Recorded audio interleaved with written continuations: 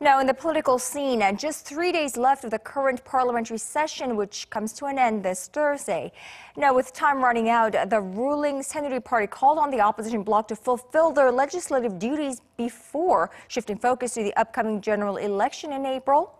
Our political correspondent Ji Myung-kil has more on today's parliamentary affairs.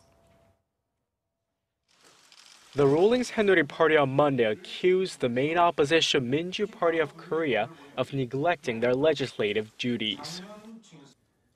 Ever since the Minjoo Party stopped its filibuster, they've been neglecting their duties and are only concerned about merging liberal forces for the upcoming general election.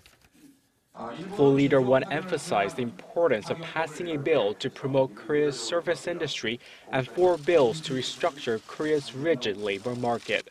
He said the bills would help create new jobs and revive Korea's sluggish economy.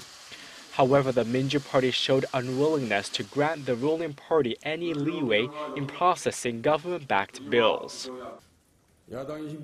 We won't allow the Saenuri Party to force through the four labor reform bills that we've tried so hard to block. If those bills pass, it could lead to a push for privatizing health care and even amend the Constitution to suit their party's interests.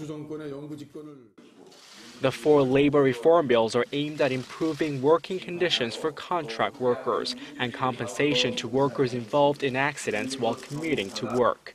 However, the opposition party says it will take more than a few new bills to get Korea's economy back on track. Meanwhile, the presidential office of Cheong Wa on Monday also stressed the need for parliament to pass the four labor reform bills, the Service Industry Development Bill, and the Cyber Terrorism Bill within February's extra session.